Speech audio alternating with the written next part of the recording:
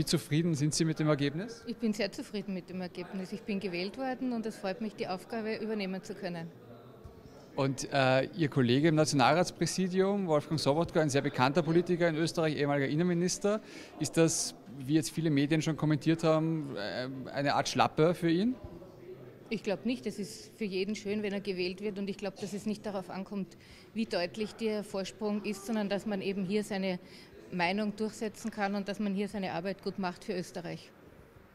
Und äh, ganz am Anfang der Sitzung kam Kritik von Andreas Schieder, auch von der Liste Pilz und von den NEOS, dass das zu kurz gewesen sei, dass das sozusagen das, das, dass das kein guter Umgang gewesen sei mit dem Nationalrat. Äh, wie sehen Sie die, die Kritik dieser drei Fraktionen? Gut, mit der Kritik müssen wir leben können. Das ist Oppositionsparteien, sind das jetzt, die das beurteilen so. Und ich denke, wir sind so weit und so gereift schon, dass wir Gesetze, die wichtig sind, auch in relativ kurzer Zeit bearbeiten können. Sie waren ja nicht ganz neu, die Sachen, die auf Sie zugekommen sind. Also ich sehe da kein Problem darin.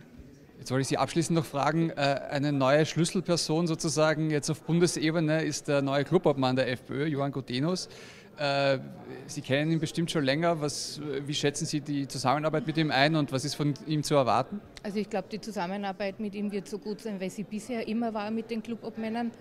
Und ich sehe kein Problem darin und ich glaube, dass wir alle ein gutes Team sind und gut zusammenhalten werden und gut arbeiten können.